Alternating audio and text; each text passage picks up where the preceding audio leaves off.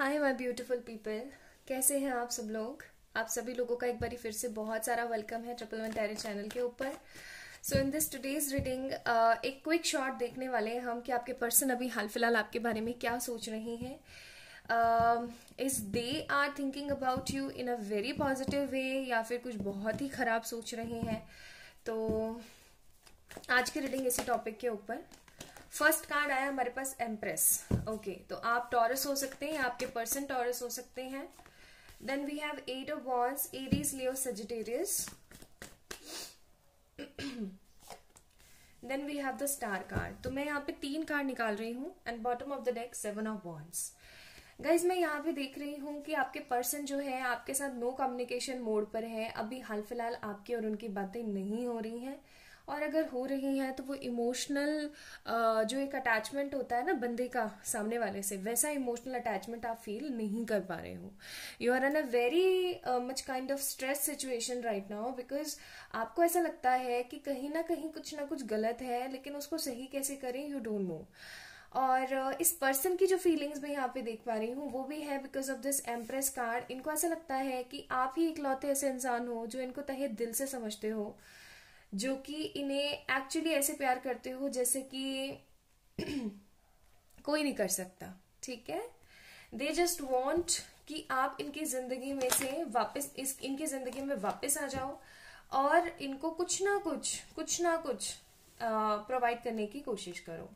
So we have next card nine of pentacles three of cups and six of cups this person is thinking about something कुछ planning कर रहे हैं। Bottom of the deck ace of सोच का card है। But जो कुछ भी प्लानिंग कर रहे हैं ना, उसके वजह से this person is in a very much kind of tense situation काफ़ी ज़्यादा परेशान है उस सिचुएशन को लेकर के। इनको ऐसी फीलिंग आ रही है कि ये जो कुछ भी मैं प्लानिंग कर रहा हूँ ना सी हमारे पास टू ऑफ़ वॉन्स का भी कार्ड है। कि जो कुछ भी मैं प्लानिंग कर रहा हूँ, इसकी वजह से मैं और मेरा पर्सन तो एक हो जाएँगे, लेकिन पीछे से बहुत कुछ खराब हो सकता है, ठीक है? ये सब सोच का कार्ड है। This person is feeling very hollow kind of victory काफ़ी ज़्यादा नेगेटिव विक्ट्री फील कर रहे हैं वो। और अगर वो आपके लिए कोई स्टेप लेते हैं तो उस चीज़ को भी लेकर के हॉलो विक्ट्री फील कर रहे हैं। लेकिन हाल फ़िलहाल this person is in this kind of energy कि ये चाहते हैं कि आपसे इनकी बातें हो। आप दोनों एक दूसरे के साथ टाइम स्पेंड करें। अगर आप दोनों अनमैरिड हैं ओके okay, और डिस्टेंस में है तो ये पर्सन फ्रॉम दिस कार्ड ना मुझे वाइब्रेशन दे रहा है कि ये पर्सन आना चाहता है आपसे मिलना चाहता है और चीज़ों को सही करना चाहता है।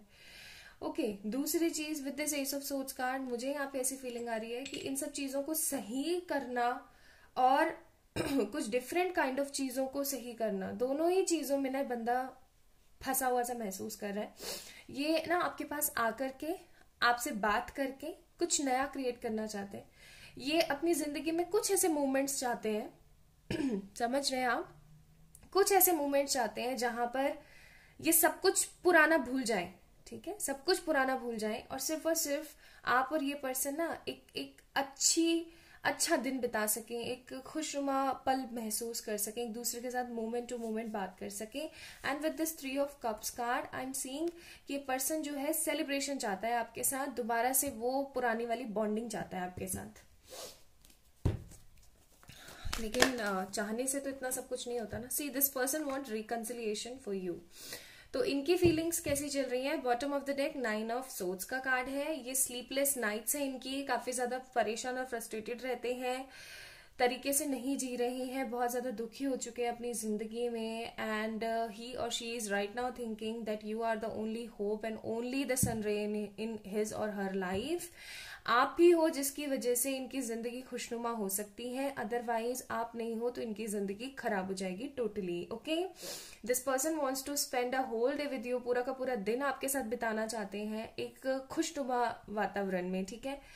अब हम चेक कर लेते हैं इनका नेक्स्ट स्टेप क्या होगा।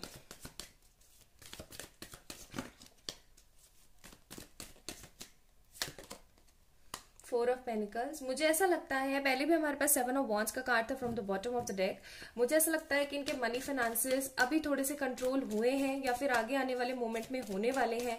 तो ये पर्सन थोड़ा सा दिमाग लगा पाएगा। High prestige and ace of cups this person is coming in your life again bottom of the deck we have the queen of pentacles card I am seeing guys की आगे आने वाले समय में this person is coming with the improvement in his career और in her career क्योंकि मैं यहाँ पे देख रही हूँ कि पास्ट काफ़ी समय से उनके करियर में ना बहुत सारी उथल पुथल मची हुई थी। टेम्परेंस भी है हमारे पास इम्बैलेंस एनर्जी थी, उनकी भी थी, आपकी भी थी, लेकिन उनके करियर की बैंड बजी हुई थी। बट अभी फाइनली इनका करियर थोड़ा सा ठीक होने लगा है फोर ऑफ़ पेनिकल्स का कारण है इम्प्रूवमेंट आने लगा है। And this improvement is creating a good victory in your life ठीक है? कुछ डिफरेंट विक्ट्री क्रिएट कर सकती है। आगे आने वाला मोमेंट ये पर्सन जो है आपके पास आने वाला ले सकता है। मुझे यहाँ पे ऐसी फीलिंग आ रही है ना कि ये पर्सन आकर के आपको प्रपोज कर सकता है और आपको बता सकता है कि ये कहाँ पे फंसा हुआ था और चीज़ों को अब ये सही करना चाहता है।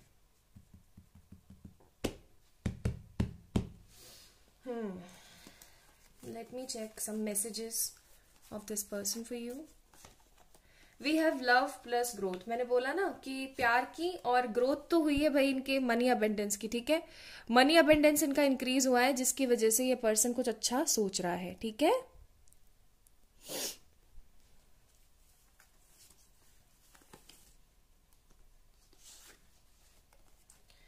यार समझ जाओ ना तो ये आपको बोलना चाह रहा है कि प्लीज़ आप समझने की कोशिश करो। ये पर्सन काफ़ी ज़्यादा स्टक है। क्या माफ़ करोगे? तो ये अपनी गलतियों की माफ़ी मांगना चाहते हैं आपसे। एंड कमिटमेंट uh, मैंने बोला ना ये अपना सब कुछ सही करके आपको कमिटमेंट देने के लिए आना चाहते हैं। गिफ्ट्स प्लस लव तो ये बहुत सारा प्यार और गिफ्ट्स लेकर आएँगे आपके पास। एंड रिकन्सिलिएशन लेकर आएँगे ओके okay. अब देखिए रिकन्सिलिएशन के कार्ड्स निकले हैं। डजेंट मैटर कि हर किसी के लिए रिकन्सिलिएशन होगा। कुछ लोगों के लिए थोड़ी बहुत कम्युनिकेशन भी इंपॉर्टेंट होती है okay now let me check messages for you I बोला किस यू तो ये आपको किस करना चाहते हैं। मैंने बोला ना जैसा पहले मोमेंट बिताना चाहते हैं। मैं टेक्स्ट कर इनको टेक्स्ट करना है आपको टेक्स्ट मैसेज करना चाहते हैं। ब्यूटिफुल uh, फेस तो इनको पता है आप जितना खूबसूरत कोई नहीं है इनकी ज़िंदगी में। साथ घूमने चले। मैंने बोला था ना, आप लोगों को देख लो, कार्ड वही आ गया। So this person wants to you know घूमना फिरना चाहते हैं इंजॉय करना चाहते हैं आपके पास। यू आर लक तो आप इनका लक हो। Please forgive me again forgive का कार्ड है तो दो दो बारी। येस आई वॉज़ रॉन्ग तो इनको गिल्ट है अभी कि हाँ ये गलत थे। तुमसे प्यार है तो इनको अभी भी प्यार है आपसे। एंड मैरिज विद यू तो कमिटमेंट देने आएँगे आपको। नीड टू टच यू इनको आपको छूने की। क्रेविंग्स है एंड यू लव मी तो ये आपको बोलना चाहते हैं कि आप इनसे जैसा प्यार करते हो, वैसा प्यार इनसे कोई नहीं करता। और ये पर्सन आपके साथ घूमने जाना चाहते हैं इंजॉय करना चाहते हैं, ठीक है? So this is all about his energies अब मैं आपके लिए एडवाइजेस भी निकालूँगी। The ranger wants to what kind of advices they want to give you पहला कार्ड आया हमारे पास फायरी क्लाइमेक्स तो क्लाइमेक्स आने वाला है बहुत जल्दी आपकी ज़िंदगी में। प्रॉस्पेरिटी लाइज अहेड जैसे ही इस बंदे की प्रॉस्पेरिटी ठीक हो जाएगी, जैसे ही इस पर्सन का ना मनी मैटर सॉल्व होगा, ये पर्सन भाग के आपके पास आएगा। और मैं ये ना बहुत बहुत जल्दी देख रही हूँ बिकॉज़ हमारे पास एस ऑफ़ कप्स और एस ऑफ़ सोर्स था। आगे आने वाले एक महीने के अंदर अंदर बहुत सारी चीज़ें आप देखोगे कि सही हो रही हैं ओके तो अपना अपना ध्यान रखें, खुद से ढेर सारा प्यार करें एंड इस वीडियो को लाइक करके चैनल को ज़रूर से सब्सक्राइब करें ओके चलिए, ध्यान रखिएगा अपना। बाय